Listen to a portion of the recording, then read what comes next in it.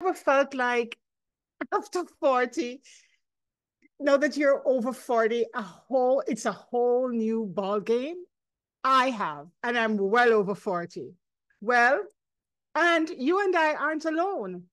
So let's today dive into 10 life hacks for women over 40, mastering self love and relationships. We've been talking about self love all weekend. Let's continue.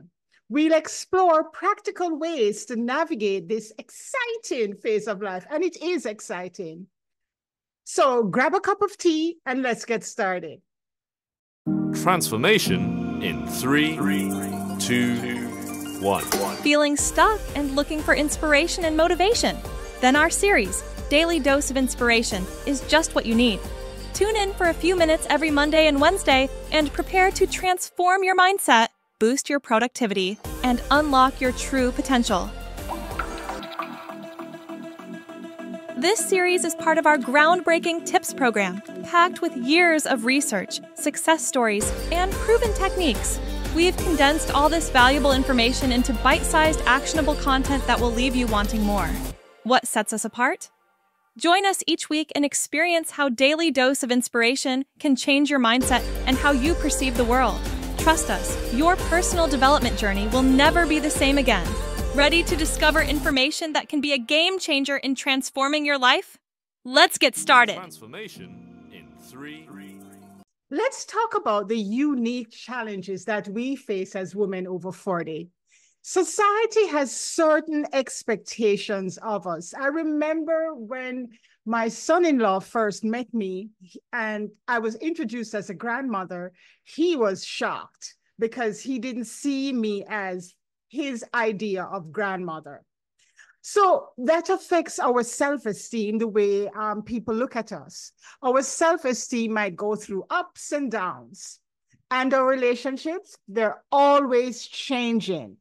But here's the good news we have the power to shape our lives. So let's look at 10 of our superpowers to get us through this phase. And I have some friends to help me with that, to share with you some of these superpowers. Hack number one establish a morning ritual. The way you start your day right can make all the difference. Create a morning routine that sets a positive tone for the day. Our friend Gloria shares how she starts her day. Hey, what's your morning routine like? What do you do first thing when you wake up in the morning? Do you have a specific routine that you follow? Do you just check do you check your phone, um, check your messages, social media, etc.? Or do you have a sort of spiritual routine that you do? For me, I do a guided morning meditation. Prefer guided because it gives me focus. It, it helps me to be more centered and it also helps me to set the tone for the day. How am I going to be today? Am I going to be grateful? Am I going to be calm? Am I going to be focused? And so my morning meditation gives me all of that to start my day. It sets me up in the right tone, the right mood for the day, and it just it just gives me power. I'm, I'm totally, totally upbeat for the rest of the day. Or maybe you prefer saying affirmations in the mirror. A short walk around the block can also do wonders. The key is to find what works for you and stick to it. Hack number two prioritize self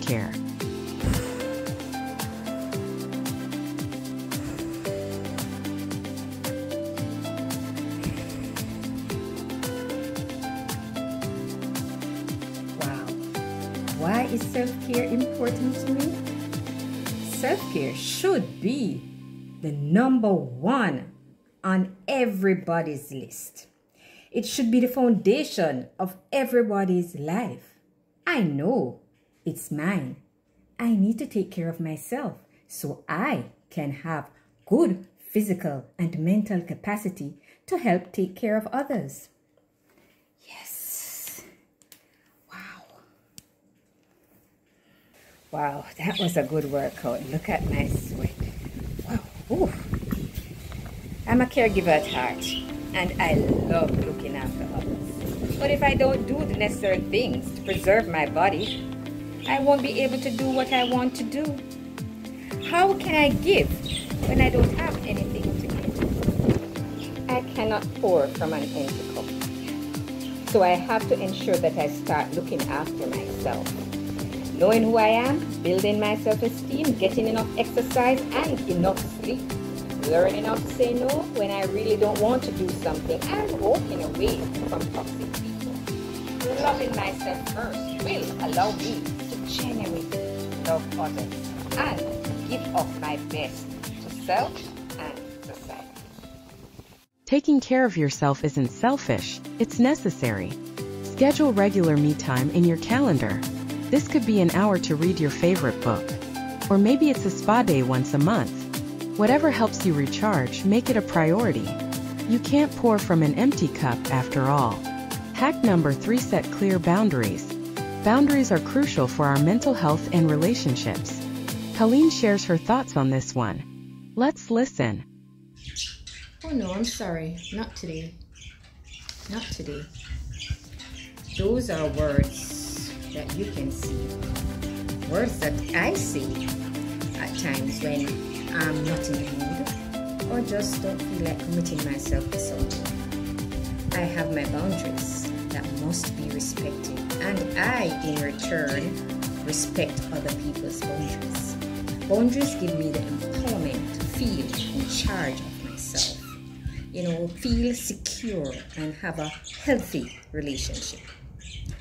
I like to express my feelings and I talk honestly about things. I believe whatever I say behind someone, I can say in front of them.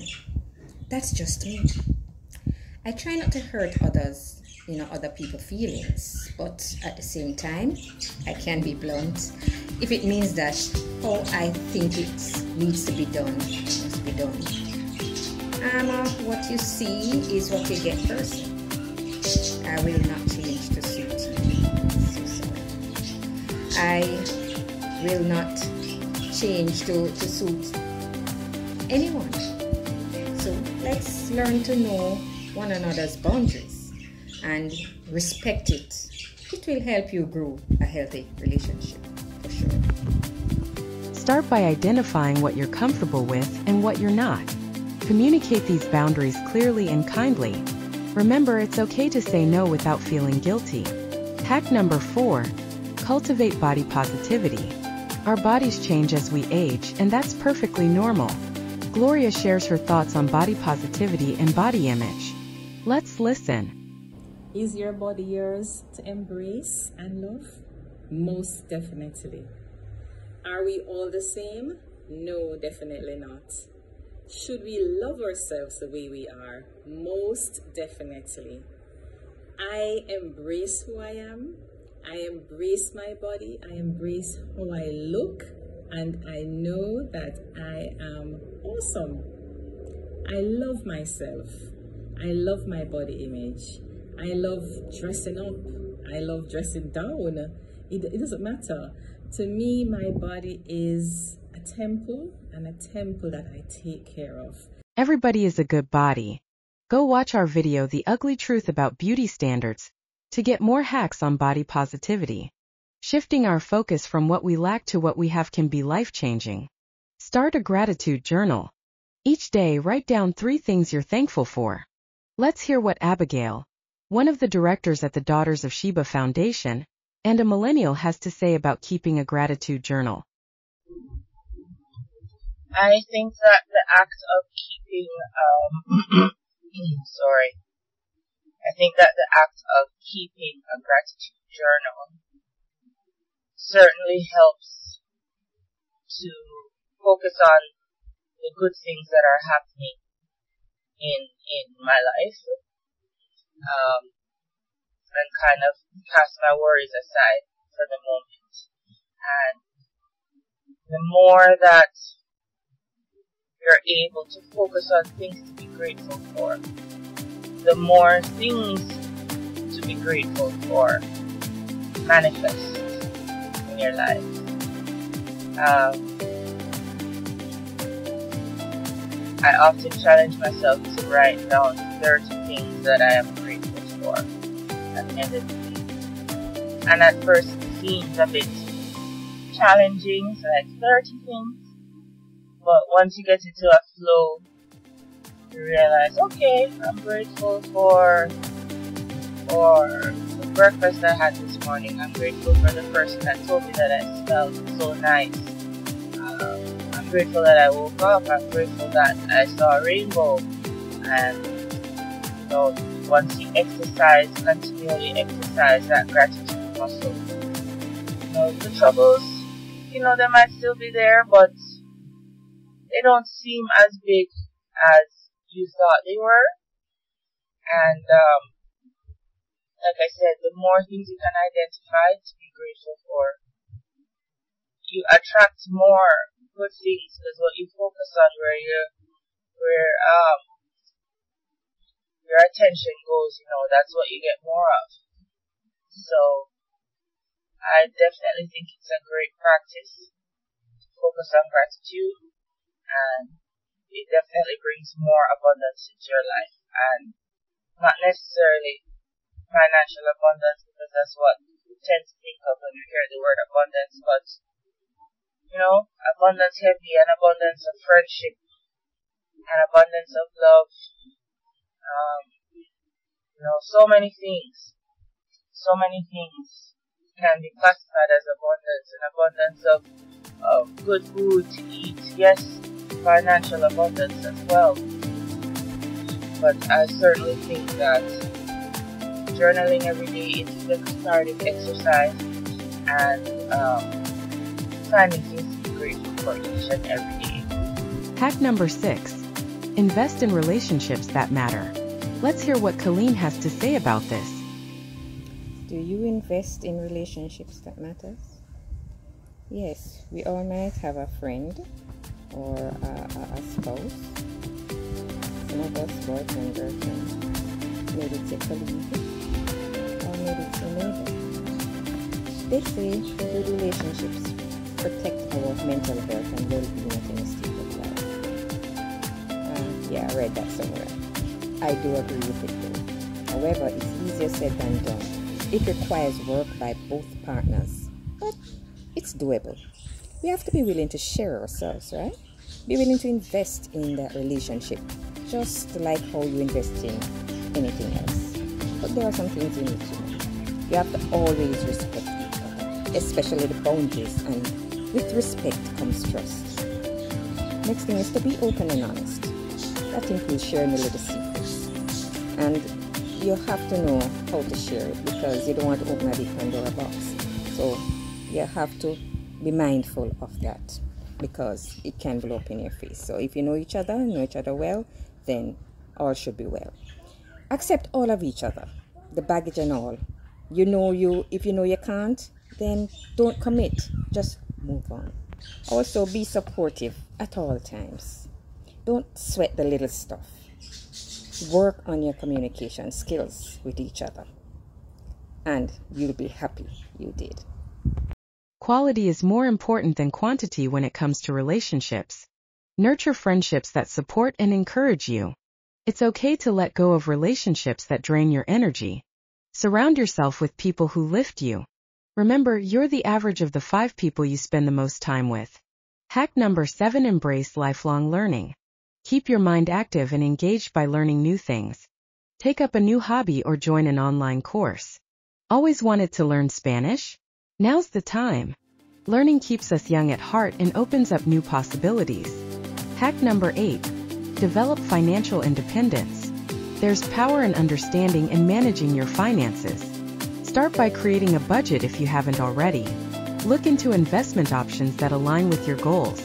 Consider speaking with a financial advisor. Hack number 9 Practice mindful communication. Good communication is the foundation of healthy relationships. Listen actively when others speak. Express your thoughts and feelings clearly and calmly.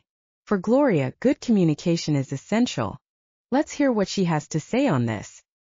Communication is key for me in any relationship, whether it be a family relationship, friends, intimate relationships. All my relationships are important to me but yes, communication is key in all instances and not just saying what the other person needs to hear or not just saying what I think they want to hear, but being honest in my communications, being open in my communications at all levels of interaction. Not just when you think, okay, no one else is listening. At all levels of interaction, we need to be honest and open with each other. And that sets the tone as well and sets boundaries where there needs to be boundaries. So communication is key no matter what you're doing communication is key. Hack number 10 Seek professional guidance when needed. Sometimes we all need a little extra help. There's no shame in seeking support from a therapist or counselor. They can provide tools to navigate complex emotions or help you work through relationship issues. Think of it as an investment in your personal growth and well being. You most. So there you have it 10 life hacks for mastering self love and relationships after 40.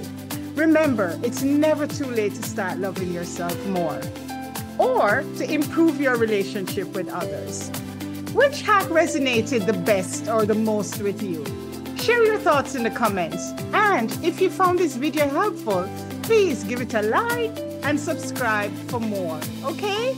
Thank you for watching. And here's to loving ourselves and living our best lives after 40.